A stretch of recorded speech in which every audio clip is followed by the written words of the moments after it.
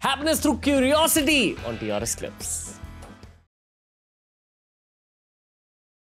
In the world today, they have the concept of disruptors, disruptive companies. For example, Apple or Uber or Netflix. They came in and they disrupted the way things were done and they kind of shifted the market. But what I tell people is that there are also spiritual disruptors in the world saints, sages, what we call in India, sadhus, who come in to our lives and start dropping bombs of wisdom. And it causes some disruption in your life. And basically, at the age of 15, I started meeting monks, meeting spiritual people. And they started dropping these bombs of wisdom in my life. And it was beginning to shake my life because I had a certain notion of what the future ahead was. I had a certain notion of what success was. And with these bombs of wisdom, they were like decimating the landscape of my future. It was like making me really think about things. Like what, for example? You know, what what would I do as a career? Uh, would I get married? Is that what everyone's meant to do? Uh, is making money and status symbols. Is this the measure of what is uh, going to really make me happy? All of these things all of these questions where am i going to live? What kind of lifestyle am i going to have? Uh, how should i be perceived by the world? Um, all of these things they started helping me think in a different way. Okay. But yeah. what were the bombs of wisdom that they dropped on you? The bombs of wisdom was that they opened me up to a new world. Before that, I'd only been thinking about this world. But the old words of the scripture were opening up new worlds. They were explaining that there's reality beyond this world, there's identity beyond this material frame, there's purpose beyond the duties and responsibilities of this world and our immediate life and they began shifting the the why why we exist. And that was making me think more broadly. Before i was only thinking about the how and the what of what i do in this immediate situation. But now they helped me to begin thinking uh, of a deeper why which helped me to uh, explore newer worlds and newer ways of living why do we exist? In the deepest sense, to find happiness. okay. They asked our teacher, Srila Prabhupada, what is the purpose of life? And he said, to enjoy. And then he said, but you don't know how. Mm. So the scriptures say, Anandamaya Bhyashat, that the very nature of the soul is to seek happiness. But if we want to really seek the deepest type of happiness, then we need to get the, to the deepest sense of our own identity, who we are. Okay. And so, what the disruptors were helping me to do is get to my deepest why. Okay. You see, this is really important. Like, if so, if I say to you, Ranveer, what is your goal in life? And you say, I want to be rich and wealthy. I know this is not the truth. Maybe it is. I want to be rich and wealthy. But then I'm going to ask you, why?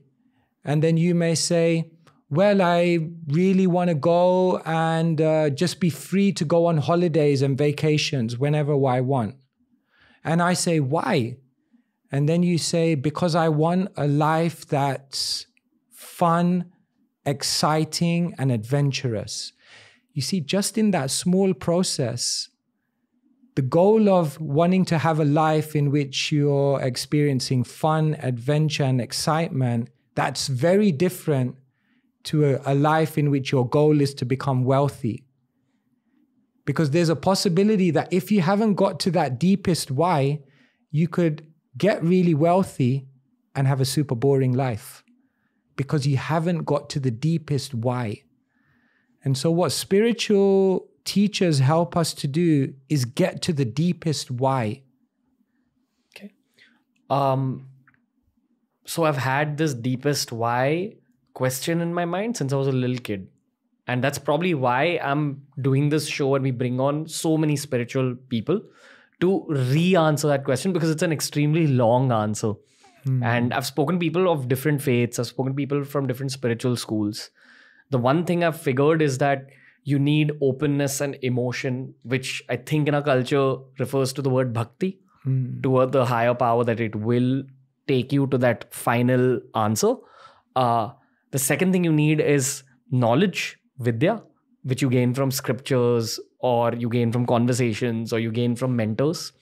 The third is sadhana, which is discipline uh, in a process. Now, that could be prayer, meditation, possibly social work. I don't know. Would you add any fourth factor to this? Am I missing out something? Am I misguided? The fourth factor I would add is seva. Okay. Service.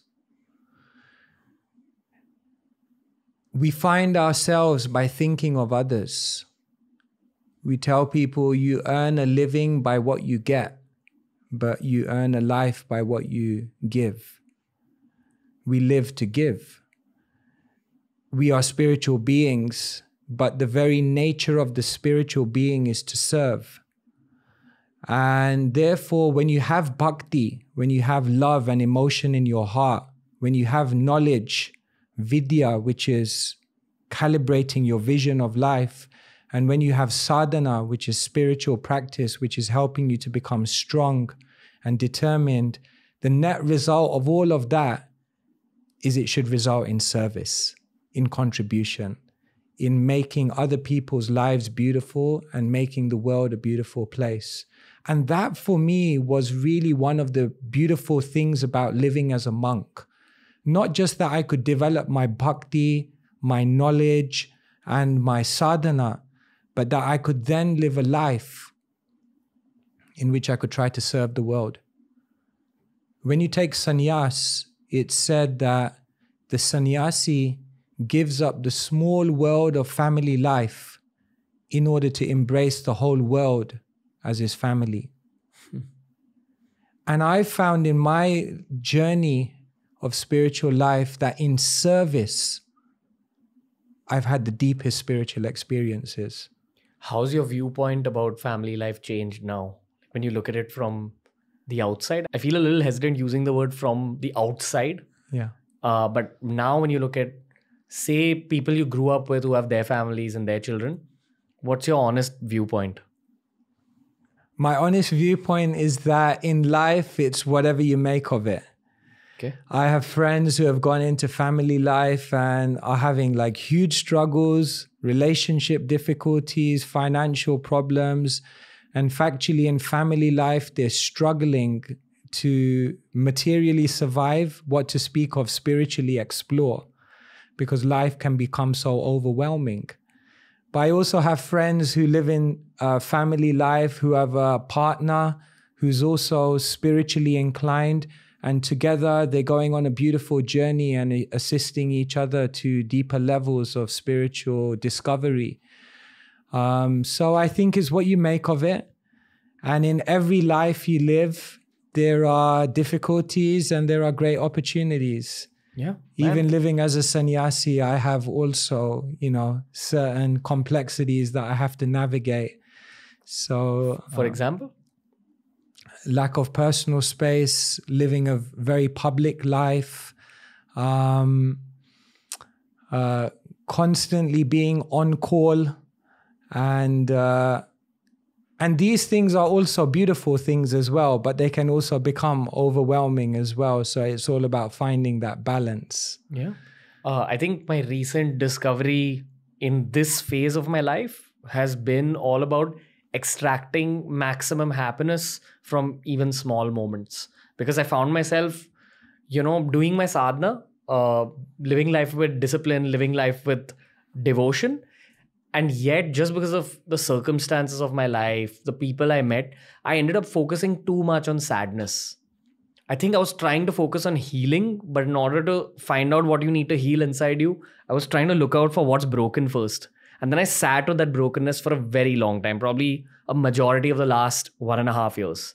And only in the last three to four months, I feel something has shifted again, an outcome of the people I met in my life, but I've started focusing on moments of happiness. Where if I'd met you on a Saturday morning, just like this, in this prior one and a half year phase, there would have definitely been a voice in my head that would have said, Oh man, I have to record on a Saturday. I'm recording tomorrow. I guess it's a lot of work. And suddenly, in the last three months, my inner voice tells me, dude, look at your life. This is like the best job in the world. Mm. You're getting to learn for a living. You're getting to have these conversations with these people where people die to talk to these people, and you're just having conversations like this in your living room. So I don't know what happened, but the perspective shifted heavily. Uh, it was because of someone I met uh, who just told me that, listen, you need to do this. You, you seem like a really sad person. And uh, I just like sharing my own evolution story with my audience. Uh, but can you explain what happened spiritually here? Did I work out some karmas? Why was that one and a half year phase so heavy mentally? Because you are an outcome of the people you meet and the circumstances that happen to you. So, was I supposed to go through all that anyway? Was I cleaning up something? Sometimes you have to go through a material breakdown to have a spiritual breakthrough. This is exactly what happens in the Bhagavad Gita. Arjun goes through perhaps the most intense time of his life on that battlefield. Doesn't last one and a half years, maybe just uh, 20 minutes. But in those moments, he's really, uh, it really resets his priorities. It makes him look a little deeper. It makes him uh, detach himself and look at his life from a different perspective.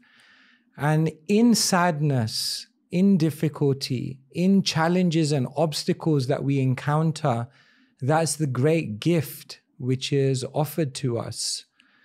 In so much of my travels now, one of the concepts I'm sharing with people more and more is how to become comfortable with the uncomfortable.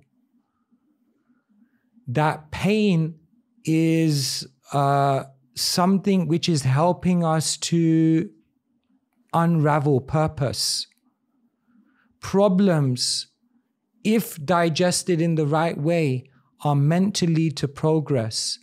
And the uncomfortable situations, though it's not something desirable to us, it's not also unnatural. They're meant to come because it's in that pain, that alarm clock. You see, it's almost, you can think of these points in your life like an alarm clock when that alarm clock goes off in the morning, it's almost like the sound of like horror. but we, if we're able to respond, if we're able to get our mind together and wake up, then it means we live such a meaningful life. And so, yeah, for sure, I'm sure that that period in your life of sadness, was uh, very much required for your spiritual journey. So if you enjoyed this video, subscribe to TRS Clips for more.